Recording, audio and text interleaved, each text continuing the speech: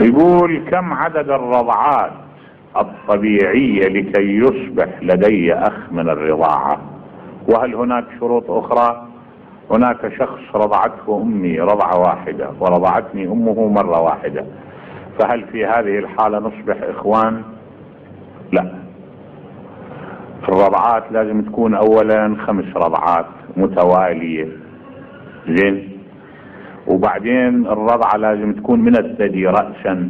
يعني مو المرأة مثلا أحيانا تحلب افرض بإستكان تطيل الطفل لا. الرضعة لازم تكون بفمه. يعني الطفل يلتقم الثدي. وخمس رضعات متوالية. هاي اثنين. وأن تكون الرضاعة في خلال فترة الرضاعة. يعني بهالسنتين من أول من يوم ولادته إلى سنتين. أما إذا عمره من بعد السنتين ورضع ما ينشر الحرمة الرضاعة التفتت فالرضعة الواحدة ما تعتبر ناشرة للحرمة سواء هو رضع أو هي رضعت.